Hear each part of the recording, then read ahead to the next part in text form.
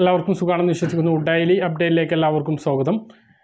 നാളെ ഡിസംബർ ഇരുപത്തി ഒൻപതാം തീയതിയും തുറന്നുള്ള ദിവസങ്ങളിലും നിങ്ങൾ ശ്രദ്ധിക്കേണ്ട വളരെ പ്രധാനപ്പെട്ട കാര്യങ്ങളാണ് ഈ ഒരു വീഡിയോയിൽ നിങ്ങളുമായി പങ്കുവെക്കുന്നത്. വീഡിയോയുടെ വിശദമായ വിവരങ്ങളിലേക്ക് കടക്കുന്നതിന് മുമ്പ് കൂടുതൽ ആളുകളിലേക്ക് ഇൻഫർമേഷനുകൾ എത്തിച്ചേരാൻ വേണ്ടി തീർച്ചയായിട്ടും നിങ്ങളൊന്ന് ലൈക്ക് ചെയ്തിട്ട് കാണുക. ഫേസ്ബുക്കിലൂടെ കാണുന്ന ആളും ഫോളോ എന്ന ഭാഗത്ത് ക്ലിക്ക് ചെയ്യുക. വീഡിയോയുടെ വിശദമായ വിവരങ്ങളിലേക്ക് വരാം. ജനുവരി മൂന്നിന് ആരംഭിക്കുന്ന സംസ്ഥാന സ്കൂൾ കലോത്സവത്തിന് മാസ്കും സാനിറ്റൈസറും നിർബന്ധമാക്കി. എല്ലാവരും മാസ്കും സാനിറ്റൈസറും ഉണ്ട് എന്ന് ഉറപ്പുവരുത്തണമെന്ന് വിദ്യാഭ്യാസ മന്ത്രി നിർദ്ദേശിച്ചു. ജനുവരി മൂന്നിന് രാവിലെ എട്ട് മുപ്പതിന് പൊതുവിദ്യാഭ്യാസ ഡയറക്ടർ പതാക ഉയർത്തും. പത്ത് മണിക്ക് മുഖ്യമന്ത്രി പിണറായി വിജയൻ പരിപാടി ഉദ്ഘാടനം ചെയ്യും. ഇരുപത്തി മൂന്ന് ഇനങ്ങളിലാണ് ആദ്യ ദിവസം പരിപാടി നടക്കുക. സംസ്കൃത അറബിക് കലോത്സവങ്ങളും ഇതോടൊപ്പം നടക്കും. സംസ്ഥാനത്ത് കോവിഡ് നിരീക്ഷണം ശക്തമാക്കി. സംസ്ഥാനത്ത് കോവിഡ് കേസുകൾ വർദ്ധിച്ചാൽ നേരിടാൻ പ്രാഥമിക സർജ് പാനലിന് ആരോഗ്യവകുപ്പ് രൂപം നൽകി.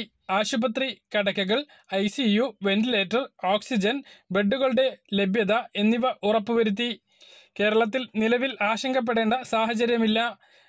നൂറിൽ താഴെ കേസുകൾ മാത്രമാണ് ദിവസവും ഉള്ളത്. കഴിഞ്ഞ ദിവസം ഏഴായിരം സാമ്പിളുകളാണ് പരിശോധിച്ചത്. ഇതിൽ തൊണ്ണൂറ് കേസുകൾ പോസിറ്റീവാണ്. രണ്ട് ഡോസ് വാക്സിൻ എടുത്തവർക്ക് കേന്ദ്ര സർക്കാരിന്റെ പുതിയ അറിയിപ്പ് വന്നിരിക്കുകയാണ്. കോവാക്സിനും കോവിഷീൽഡും എടുത്ത ആളുകൾക്കാണ് സർക്കാരിന്റെ പുതിയ അറിയിപ്പുകൾ വന്നിട്ടുള്ളത്. കോവിഡ് പ്രതിരോധത്തിനായി ഭാരത് ബയോടെക് നിർമ്മിച്ച പുതിയ നെയ്സൽ വാക്സിൻ ഇൻകോവിൻ എല്ലാവരും എടുക്കണം എന്നാണ് ഇപ്പോൾ കേന്ദ്ര സർക്കാർ അറിയിച്ചിട്ടുള്ളത്. ഇപ്പോൾ അവസാനമായി ഇതിന്റെ വിലയും പ്രഖ്യാപിച്ചിരിക്കുകയാണ്. ഇത് സൗജന്യമല്ല സർക്കാർ ആശുപത്രികളിൽ മുന്നൂറ്റി ഇരുപത്തി അഞ്ച് രൂപ ഇതിന് നൽകേണ്ടി വരും. ഇതുകൂടാതെ സ്വകാര്യ ആശുപത്രികളിലാണെങ്കിൽ എണ്ണൂറ് രൂപയും നൽകണം.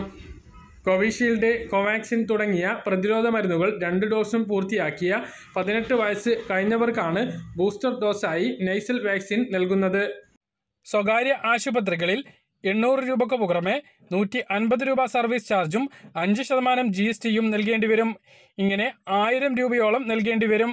ബൂസ്റ്റർ ഡോസ് വാക്സിൻ സ്വീകരിക്കാൻ സർക്കാർ നിർബന്ധം പിടിക്കുമ്പോൾ സാധാരണക്കാരായ ജനങ്ങൾക്ക് ആയിരം രൂപ മുടക്കി ബൂസ്റ്റർ ഡോസ് വാക്സിൻ സ്വീകരിക്കുക എന്നുള്ളത് വലിയ തിരിച്ചടിയാണ്. നിങ്ങളുടെ അഭിപ്രായങ്ങൾ താഴെ കമന്റായി രേഖപ്പെടുത്തുക. അടുത്ത മാസം മുതൽ വാക്സിൻ ലഭ്യമായി തുടങ്ങും.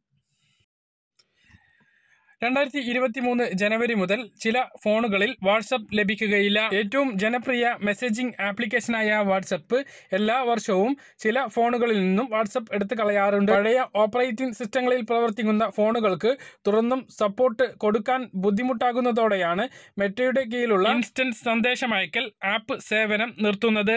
രണ്ടായിരത്തി ഇരുപത്തിരണ്ട് അവസാനിക്കാനിരിക്കെ വാട്സപ്പ് വിവിധ കമ്പനികളുടെ ചില മോഡൽ ഫോണുകളുടെ സേവനം അവസാനിപ്പിക്കാൻ തീരുമാനിച്ചതായി ഇപ്പോൾ അറിയിച്ചിരിക്കുകയാണ്.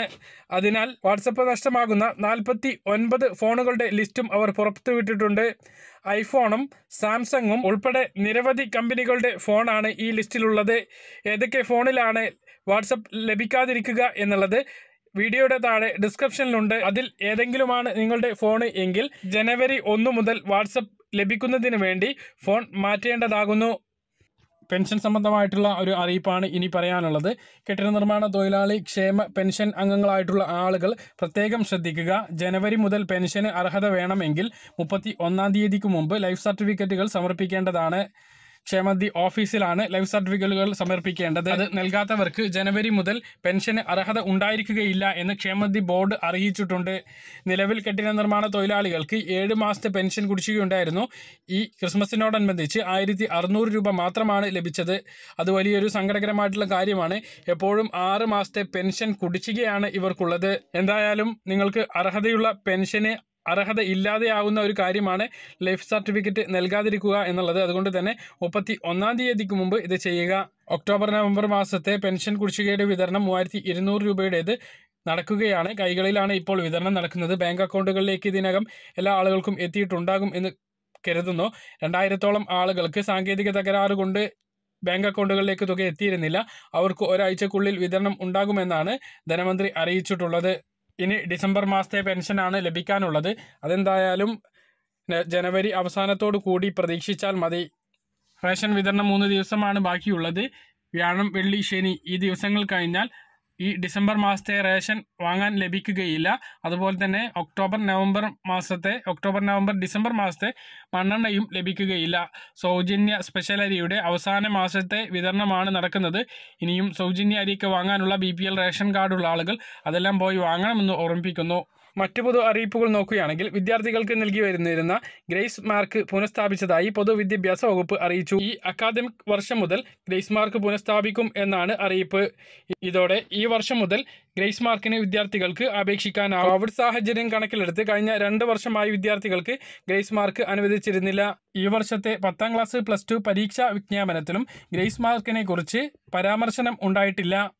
മറ്റൊരു പ്രധാനപ്പെട്ട അറിയിപ്പ്. സാമ്പത്തികമായി പിന്നോക്കം നിൽക്കുന്ന പ്രവാസികളുടെയും നാട്ടിൽ തിരിച്ചെത്തിയവരുടെയും മക്കളുടെ ഉപരിപഠനത്തിന് നോർക്ക റൂട്ട്സ് ഡയറക്ടേഴ്സ് സ്കോളർഷിപ്പിന് അപേക്ഷിക്കേണ്ട അവസാന തീയതി നീട്ടിയിട്ടുണ്ട്.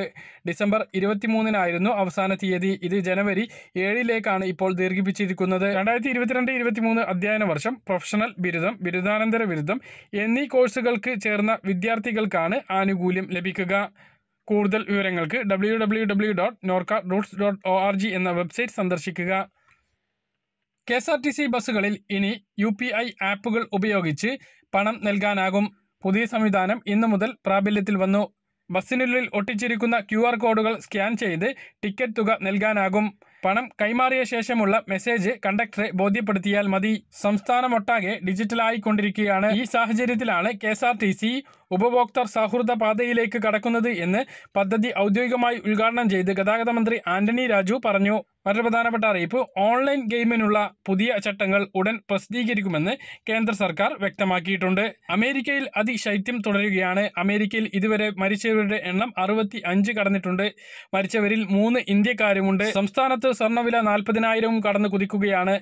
ഇന്ന് പവന് നൂറ്റി അറുപത് രൂപയാണ് വർദ്ധിച്ചത്. ഇതോടെ ഒരു പവൻ സ്വർണത്തിന്റെ വില നാൽപ്പതിനായിരത്തി ഒരുന്നൂറ്റി ഇരുപത് രൂപയിൽ എത്തിയിട്ടുണ്ട്. ഗ്രാമിന് അയ്യായിരത്തി പതിനഞ്ച് രൂപയാണ് വില.